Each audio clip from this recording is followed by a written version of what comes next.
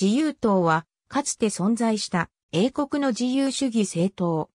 前身は、ホイッグ党で、旧カニング派、急進派との合流により1830年頃、後に知られる自由党の原型が成立した。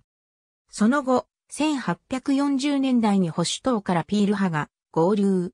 自由党はこれら諸派の連合した政党としての性格を持つ。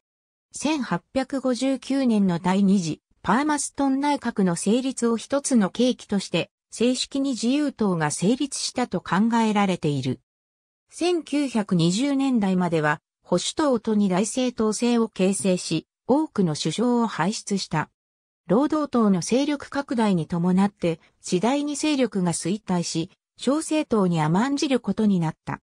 1983年から労働党右派の議員が立党して結成した社会民主党と選挙連合を組み、共同のマニフェストを掲げて選挙戦を戦った。この同盟は1987年まで続いた後、1988年に自由党と社会民主党の合併という形で発展的に解消した。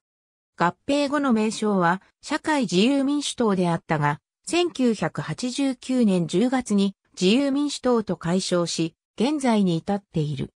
なお、社会民主党との合併反対派は、新たに自由党を結成、現在でも地方議会では活動している。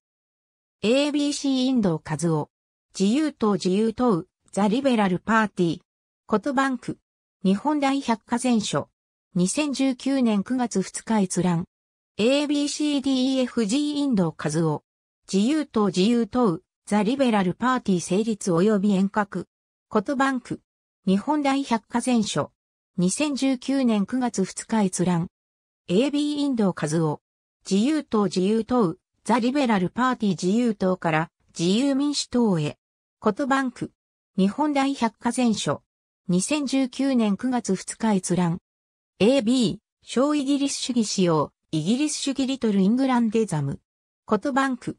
ブリタニカ国際大百科辞典小項目辞典。2019年9月2日閲覧。ありがとうございます。